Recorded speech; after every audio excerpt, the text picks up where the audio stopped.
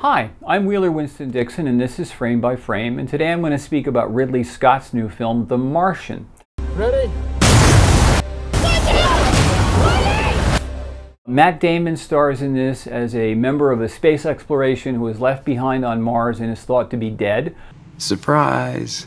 But this film has many precedents. Mission to Mars in 2000 by Brian De Palma, uh, where Don Cheadle is left for dead on the Red Planet, is another one. And there's also Robinson Crusoe on Mars, 1964, oh, which is a really beautiful film as well.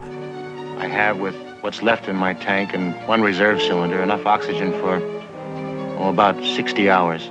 But one of the things I want to talk about here is, is the inventions in science fiction which actually make it and the inventions which don't really make it. So here's just some of the films that really sort of tell the future of science fiction and some of them that don't. Metropolis, which is really the grandfather of all of these films in 1927, predicted futuristic cities, but also the dystopian future, the very, very rich versus the very, very poor, which was picked up in Blade Runner, also by Ridley Scott.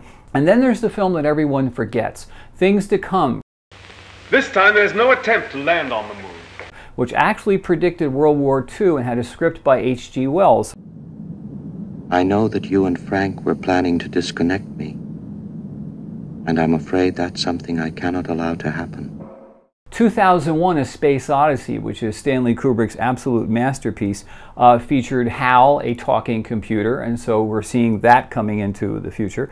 Forbidden Planet predicted all sorts of things like holograms. It also had Robby the robot, a robot who could manufacture anything. Star Wars, of course, has predicted lots of things and also created lots of new technology and sort of like brought the digital hologram era. You know, the holograms are being projected, and now we're seeing holograms on news programs and hologram actually performances by artists who can't be there at the same time.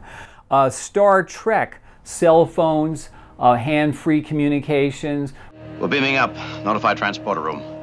Total Recall featured uh, the Johnny Cab.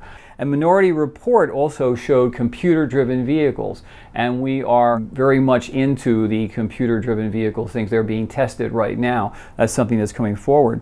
Welcome to Texaco. You can trust your car to the system with the star. There's other things that didn't work out so well. Uh, Back to the Future 2's flying cars, we're still waiting for that.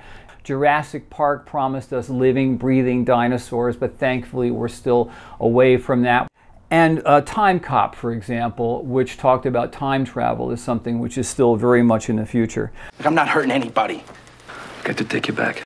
Even though things like Mad Max, where we're living in a post-apocalyptic uh, world, are far away, and also Waterworld, thankfully, has never come to pass, I would argue that films like Metropolis and Blade Runner really are quite accurate in predicting where society is headed if we don't do something about it because New York City right now, which is my hometown, is very much like Metropolis in a way because we do have the very, very rich and the rest who serve them. Even apartment buildings now where the rich buy an apartment building on the 80th floor and they have their servants on the 10th floor. So then we're really getting into metropolis territory. So sci-fi films, sometimes they're right, sometimes they're wrong. But this new film, The Martian, which I look, eagerly look forward to, is the latest film from Ridley Scott, which gives us a look into the future.